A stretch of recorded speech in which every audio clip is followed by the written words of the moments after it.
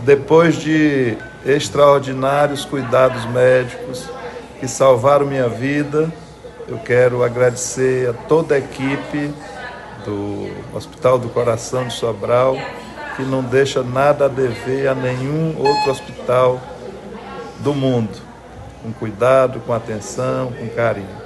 E quero me comprometer de poder, no futuro, ajudar, retribuir o mínimo que eu posso fazer, retribuir aqui, eh, buscando recursos para mais equipamentos, para que esse hospital possa salvar mais vidas como salvou a minha.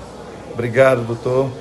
Obrigado, Obrigado. em seu nome Bem, a, toda, a toda a sua equipe, não só dos médicos, mas dos enfermeiros, dos técnicos de enfermagem, dos nutricionistas, enfim, foi um períodozinho curto, afinal de contas não inteirou nem 24 horas, mas eu já saio daqui sem necessidade de cuidados intensivos.